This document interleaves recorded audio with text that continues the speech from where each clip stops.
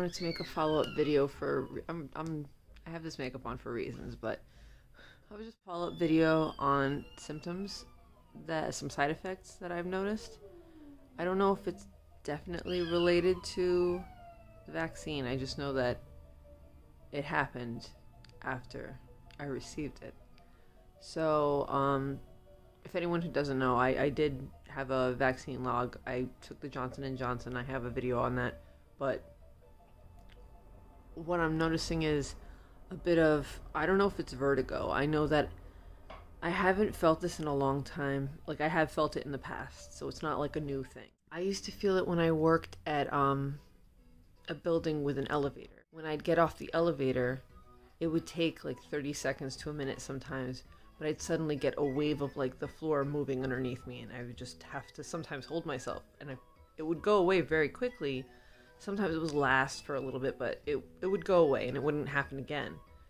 But I know we always noticed it after I was on the elevator. And it would happen also when I would visit my brother at his apartment as well. Always after the elevator.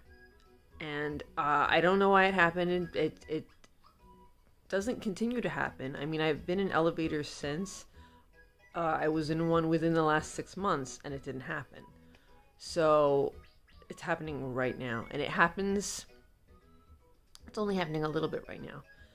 But it happens sometimes when i am like looking up at something and then i look back down. So it's just like a quick tilt. So i'm assuming it's an ear thing. I don't really know. I mean isn't most dizziness an ear thing? I don't i'm, I'm assuming. I'm not a doctor i don't know. So there's that. And i wouldn't think anything of it because I have felt it before if it wasn't for the fact that the moment I looked it up, I found all people of all of the vaccines basically having similar situations, and many of them have had vertigo in the past. So I don't know if it's related, if it's a coincidence, what's going on with that. Um, I don't know if it's related to um, other medical, uh, other medications, um, because you never know. But just thought I'd bring that up for anyone who is curious about that because that's a thing. It's kind of happening a little bit right now.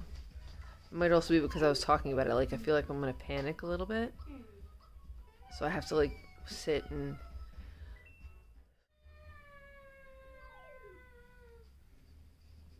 I'm gonna go now. Just wanted to share. Bye.